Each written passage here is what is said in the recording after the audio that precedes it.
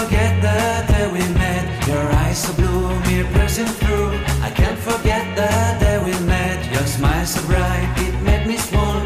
Our love is like a summer's day. Etong ano, fraction, parang division din yan. So parang, uh, di ba, one half, pwede mong i-interpret na 1 divided by 2 equals 0.5. Yung 0.5 na yan, di ba parang 50 cents? Ibig sabihin yan, 1 half. Parehas lang siya. So, ganito yung gagawin mo rin dito. Ano ang number na i-divide mo ng 5? Ang answer mo, 1.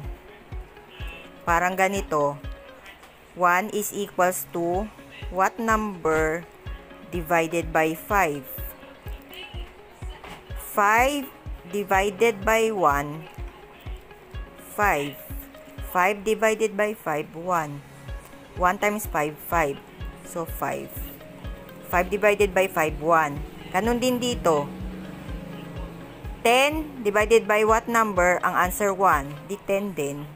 10 divided by 10, 1. Dito sa kabila, anong number? Ang pag dinivide mo ng 5, 2.